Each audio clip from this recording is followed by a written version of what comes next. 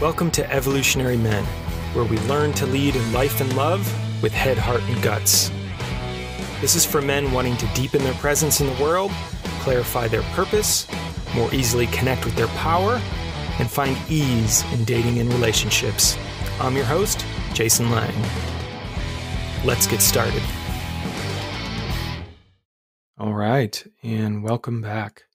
On today's episode, I want to talk about something that I've both personally experienced and witnessed in the clients I've worked with and the many men I've sat in circle with over the years in men's groups. And it really boils down to this simple idea our growth as developing conscious beings is not linear. What do I mean by that? Well, you know, off the bat, when we think of growth or change, we often think of kind of a linear line up, right? We start one place and we're slowly working our way up the spiral or road of development. And it's not really like that. So I've experienced, and expecting that is what causes a lot of pain for us as men and as human beings. And so this idea that, you know, growth is just step by step, things will constantly improve, that's really the trap. Because what it really looks like in my experience is far more chaotic. And what I mean by that is there's back steps, there's long stretches of plateaus, and then sometimes there's huge bursts of growth and change in a short amount of time. And it's actually much more like a kind of jagged line up and then down and then up and then down and then straight across. And it's all still growth. I think that's the most important thing to remember. So, in early episodes, I talked about the idea of, you know, how we grow. And two important components of that are stages of growth and consciousness, which are actually structures that emerge, and states of consciousness, which are temporary and often fleeting.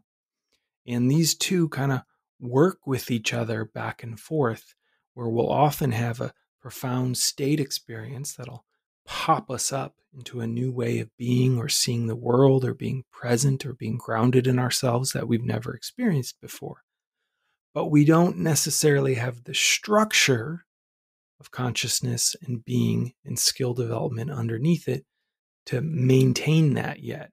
But what it does is kind of gives us a preview of what's possible, which makes it then easier to work our way back to that. So that's kind of often the like pop forward, pop out part of it. Now, another way to think of this is the plateau. And so this is one, whether it's personal growth and development, skill mastery, exercise and fitness, you name it. Um, the plateau part of this all is that oftentimes we may be putting in the reps, right? Trying a new practice, trying a new breath, working out, honing our craft artistically, and it feels like nothing is changing, right? The results are almost kind of the same, or we don't see any difference, or we don't feel any difference, or we don't get any reflection of difference. Oftentimes, there are changes happening. They're just so small and micro, and we're so close to them, we don't often see them, which is why self tracking and this idea of the quantified self movement can be really useful for growth because it can kind of break down these big leaps into smaller components that we can see. But another way to think of the plateau is that's often where, when I talk about the stage of development, the stage, the structure of the growth, that's where that's kind of being laid down, right? You might think of it as the, the foundation to the skyscraper. From outside, if you weren't up close, it looks like nothing is happening for a long period of time. And then suddenly, this thing starts to shoot up into the sky. And that's what I've often seen with guys who are doing the deep inner work of becoming more present, becoming more grounded, becoming more connected to their emotional body and their physical body. Is they'll be putting in the reps, so to speak, doing the work, but the changes won't necessarily manifest right away. And that can be frustrating, right? Doing all this stuff and nothing's changing. And that's where, whether it's self tracking or being connected to a men's group who can reflect what they're seeing um, in terms of your changes, because it's uh, usually way more obvious to other people than it is ourselves, can be really powerful and useful. So we've kind of got the the jump up of the temporary state, right? Those just moments where life is just clicking and everything is working and we have the best game of our life or the best date of our life or we're just crushing it on our business and it feels magical and powerful and like a whole new level. And then suddenly it disappears, right? Again, that's oftentimes sometimes the, the state has emerged to give us a taste, but then we need to do a little bit more integration or laying down of the structure to make that more permanent. Now, in the laying down of that structure, we can hit that kind of sideways plateau phase. Both of those um, are important. You know, the first one always feels awesome and then pretty awful when it disappears. The second one, you know, just isn't particularly juicy a lot of times or is frustrating. But it's really the third one that can be the most challenging one, and that's the kind of drop back, or as we call it, the slingshot, right? Where oftentimes we'll be doing a lot of work or we'll be developing ourselves in some capacity and we'll have started to make some kind of headway. And then suddenly we'll kind of regress. We'll actually fall back into all of our bad habits or our personal bests and workouts will actually go the wrong way. We'll underperform rather than continuing to increase performance. Or parts of ourselves or tendencies we have in our thinking or emotional body or the way we're showing up in the world that we thought we handled will kind of rear their ugly head again. Now, sometimes this can be kind of coupled with the plateau, meaning nothing's been happening for a long time. We're putting in all the work, and then suddenly things get a lot worse. And that's like a double hardship, double frustration for a lot of guys. But I'm here to tell you that can oftentimes be the sign of the great leap that's about to happen. So, a lot of the stuff I'm into when it comes to um, these stages of consciousness and states of consciousness, the people that research them have studied human beings over long periods of time. And what they found, particularly with development, is there's often kind of this slingshot effect where just before we totally lay down the wiring and inhabit a new way of being, it's it's almost like the old way of being gives it one final go. There's all kinds of reasons for this, right? Um, one, if nothing else, is in a lot of ways, human beings and our brains and our neurochemistry are just wired for efficiency, to conserve energy. And so, if a system has worked before, a process in ourselves, our body's going to try to keep using that process instead of creating something new a lot of times, because that newness can require a lot of energy. So, as we're jumping into something new, as the big changes are about to happen, almost like we kind of take two steps back to fully inhabit that old way of being. Our body kind of screams, No, we can do it like this, it'll work. It almost never does. And in fact, it becomes super clear that that way of being, that habit, that way of performing is no longer sufficient for what's next. So in the slingshot back, it's like we try really hard in that old place, and then it becomes super clear that doesn't work. And that's when it kind of dissolves and we leap forward into the next way of being. You know, I've seen all three of these structures in, in my life and my development. You know, I'd love to say my life has been a constant, linear, step by step path of growth, every year things are getting better in all aspects of my life. But it's not true. There's been many years of my life where even though I was doing this stuff, not a whole lot changed on the outside. Or there's been years where things just got a lot worse than they had been the previous year, financially, romantically, emotionally, you name it. I've kind of had ups and downs in all of these different areas. And I've also had the years where more happens in six months in terms of how I'm showing up and what I'm creating in the world than has happened in the previous years. Right? So again, it's not kind of a linear way up. It's actually way more of a jagged line if we think of it in 2D. Now, the last way um, I've recently kind of been turned on to in terms of thinking about growth that I really like was from um, a teacher that came and co led a men's retreat I was at. And he's a First Nation indigenous man and kind of been trained in a long lineage in the Southwest. And he helped us create a medicine wheel out in the middle of the desert. So if you've never seen one of medicine wheels, just a big north south, east west kind of axis wheel that you create with a lot of intention. And the north, east, south, and west, they kind of map to the different seasons of the world and seasons we all go through in life. And great, right? You think we start start here, sun rises in the east, and then we kind of work our way all the way around. But one thing he added that I had never known before in these traditions is they actually can conceptualize the wheel as a spiral. So it's actually in 3D. And so while you continually do the same rotations around the wheel, at the same time, you're actually spiraling up. So you never really retread the same place again. I just loved the idea of that, right?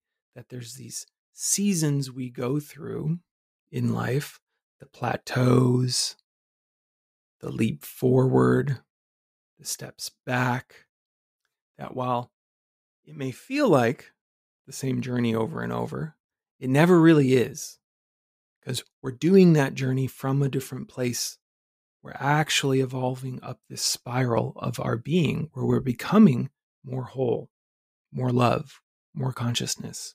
And so you're never really going back to the same place. You may be working through the same seasons or energies, but it's never exactly the same. You know, um, my other teacher once talked about you know, when we do this work, when we have the state experiences, it's like we stretch, we're stretching open, right? We often see this in workshop culture or psychedelic culture. We have these big experiences and we think, oh my goodness, everything's going to be different now.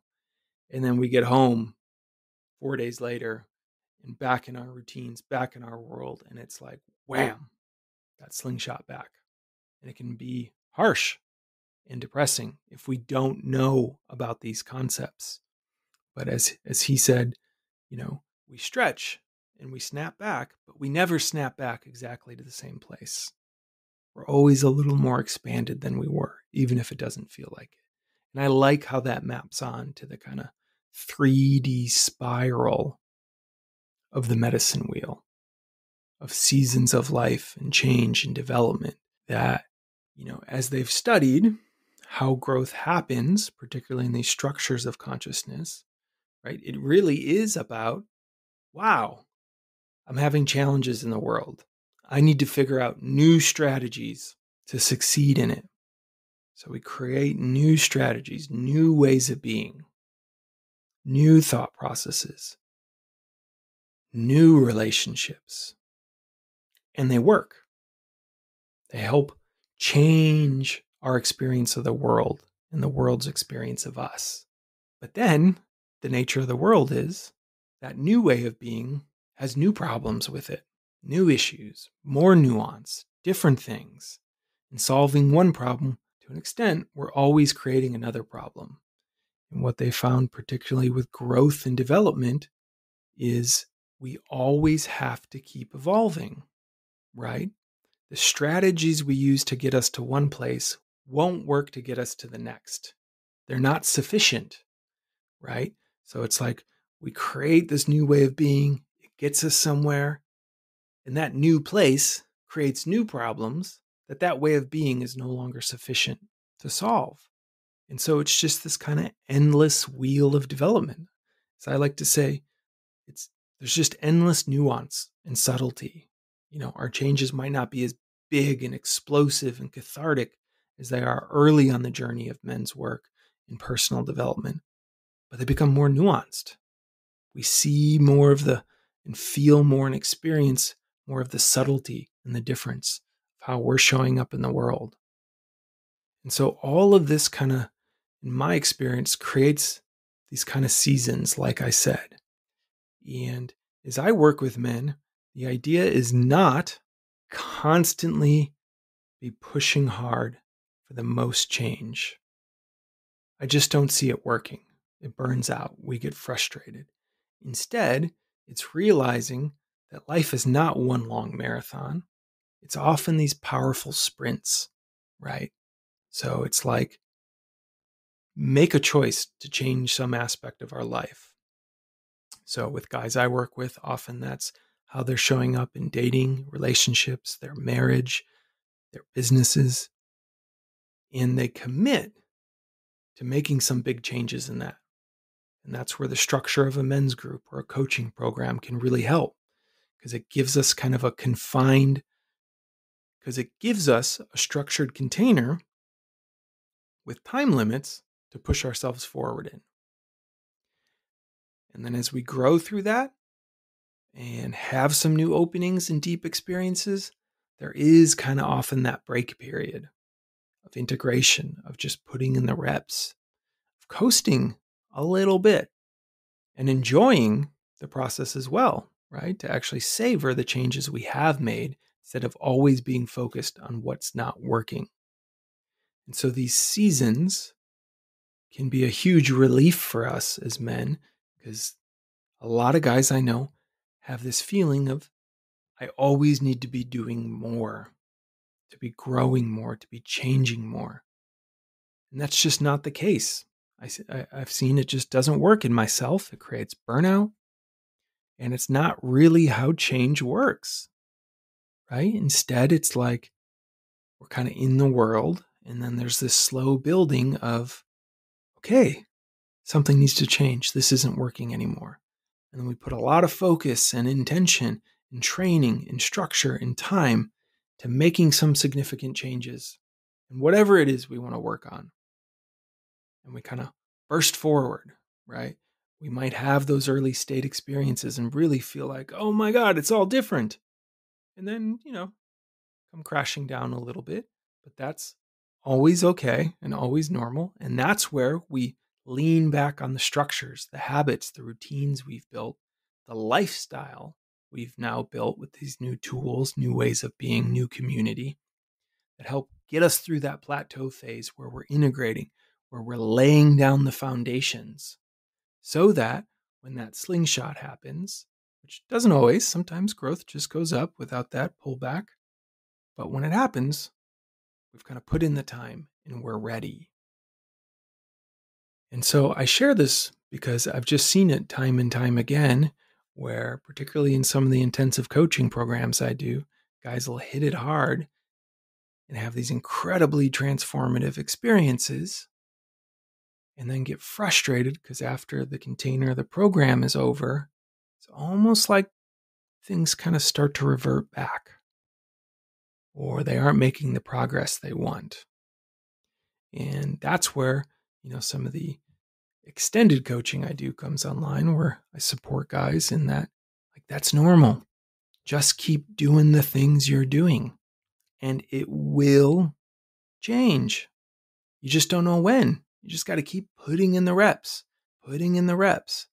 And at some point, you're just going to show up completely differently. So, in sharing this, I hope you find some ease, ease in your growth journey, ease in your path, some ease in knowing it doesn't all happen at once and it doesn't all happen in one direction.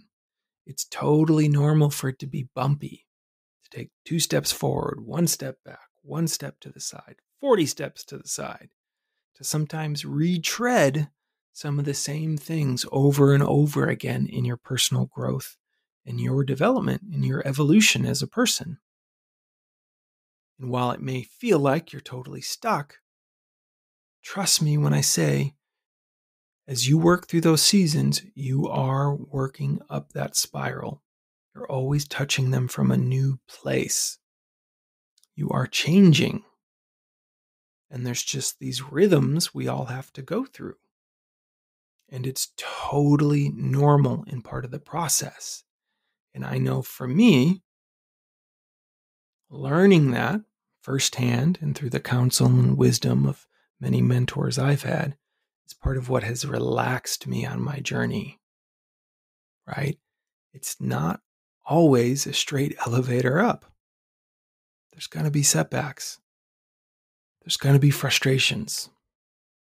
There's going to be doubling back to handle things we thought we had already handled long ago, there were still some loose ends or we didn't quite deal with that deep enough.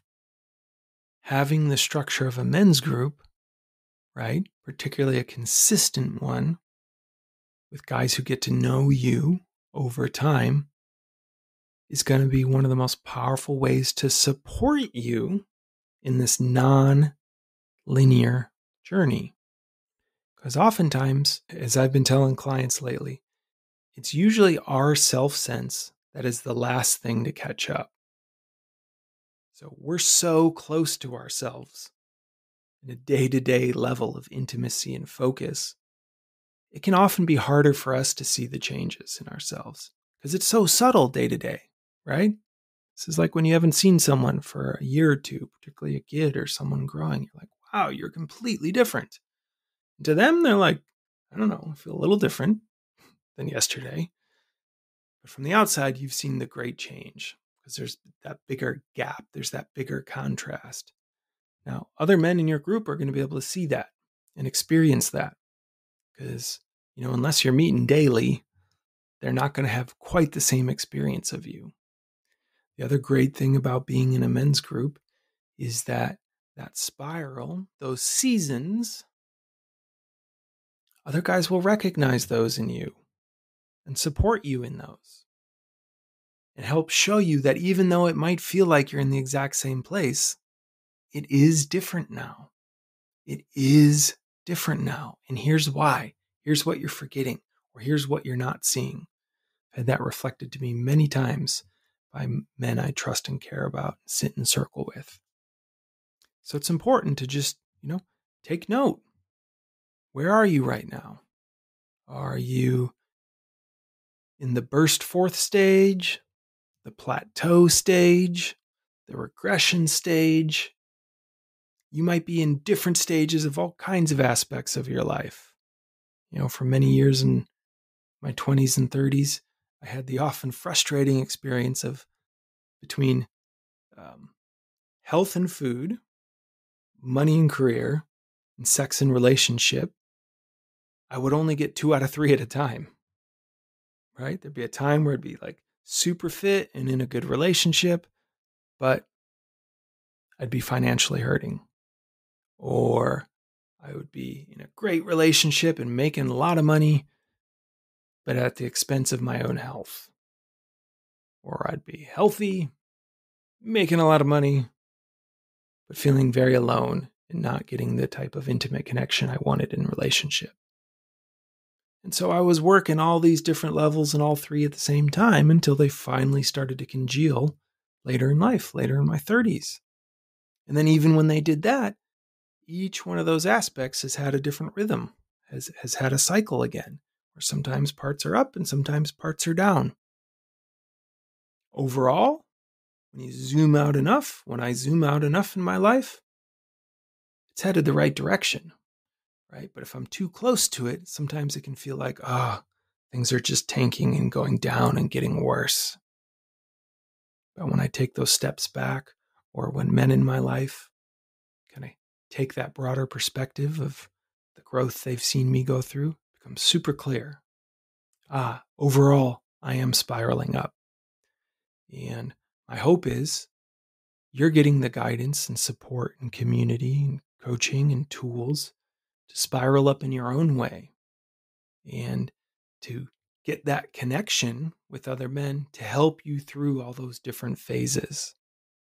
I'm telling you, it gets a lot, lot easier when you have guys helping to ground you after the wild, profound state experiences where you think everything's different, or helping to keep you motivated during the long plateau, or just support you and hold you when you're really struggling and down in the regression or the step back, or where that old way of being just really rears its head one last time. So I'd love to help you in your journey.